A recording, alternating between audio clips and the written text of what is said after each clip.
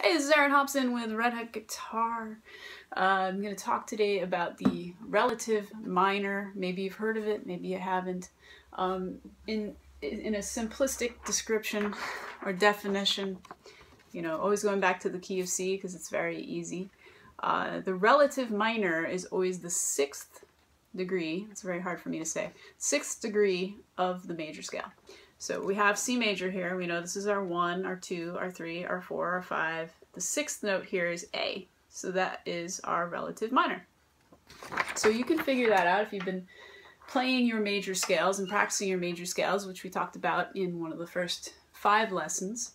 Um, you know, you can take any of them. So see, I have F major here, F, G, A, B flat, C, D. So one, two, three, four, five, six. The relative minor of F major. Uh, here's G major, right? G, A, B, C, D, E. So one, two, three, four, five, six. E is my relative minor of G major. Here's D major, D, E, F sharp, G, A, B is my relative minor of D major. So um, it's an easy enough thing to figure out if you've already been practicing your major scales and you've already been, you know, thinking about your intervals and what your intervals mean. Um, so here's where it gets a little tricky for some of my students. So if I have this C major scale, C, D, E, F, G, A, B, C, right?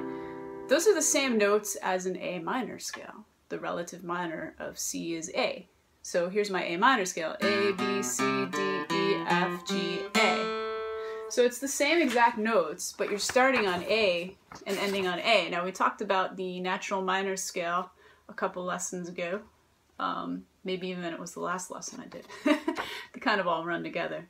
So you, hear, you have your C major scale within there, right? C, D, E, F, G, A, B, C. But in A minor, you're starting on the A and ending on the A. So a typical question my students ask me is, well, why do you call them different things if they're the same note? And the answer is because they have a much different sound. Um, so if I play a C major chord and I start on C and I end on C, clearly that is very major sounding. If I start on A minor chord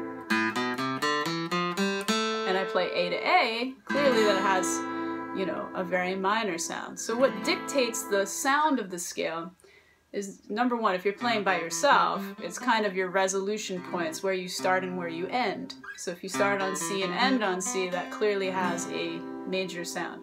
If you start on A and you end on A, that clearly has a minor sound. Also the chord progressions that are being played, the harmony. So if you have a chord progression in the key of C, that's C, G, F, G,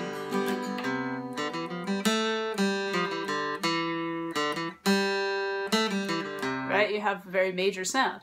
If I have A minor, G, F, G,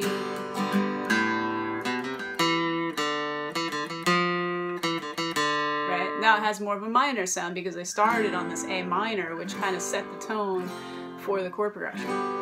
Um, so in short, it's really the sound between major and minor are much different, um, even though, you know, C major and A minor have the same exact notes.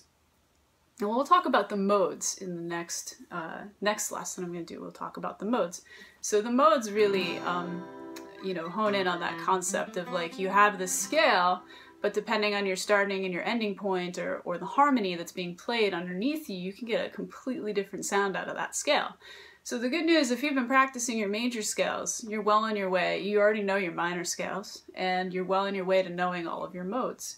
Um, in the modes, uh, the C major scale is also known as the Ionian mode, and the minor scale, the natural minor scale, is also known as the Aeolian mode.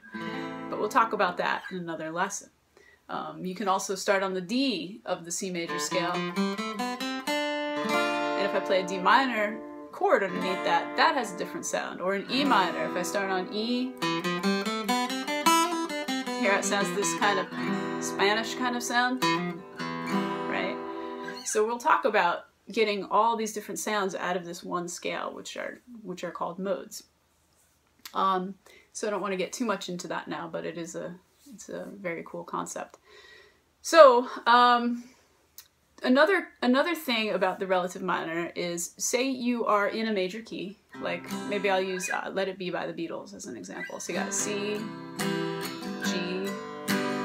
A minor F C G F C that's clearly a C major very C major sound so you could play a C major scale over that and that would work. But what if you want to get more of like a bluesy,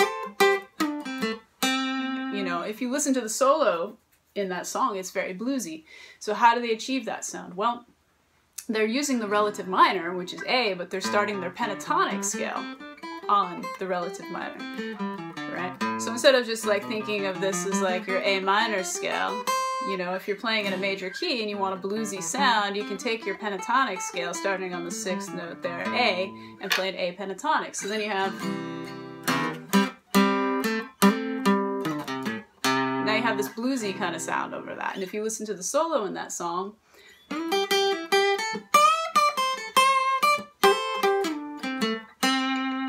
it's very bluesy because of that A pentatonic scale. Uh, there's numerous examples I'll post on here. I did a tutorial on uh, one of Ed Sheeran's new songs off his new album, Divide. So that was, um, I did it on ukulele and I did it on guitar. And it's E, C sharp minor, A major, B major. So that's clearly a chord progression in the key of E. So if you go to, to the relative minor of E, E, F sharp, G sharp, A, B, C sharp would be your sixth degree. So if I start my pentatonic scale on C sharp, then I have this C sharp minor pentatonic over this E major, you know, so you get this more bluesy kind of sound.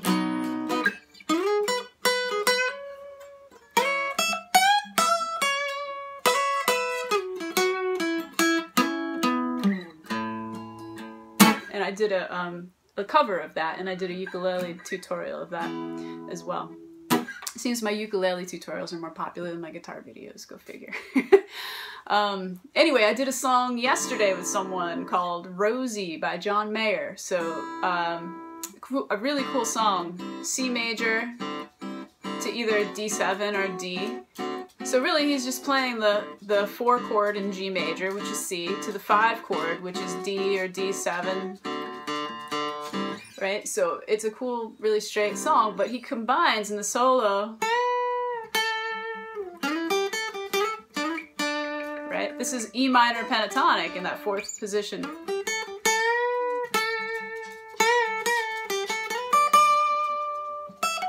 Then he goes to G major. So he's combining this G major scale with this relative minor E, e pentatonic. So um,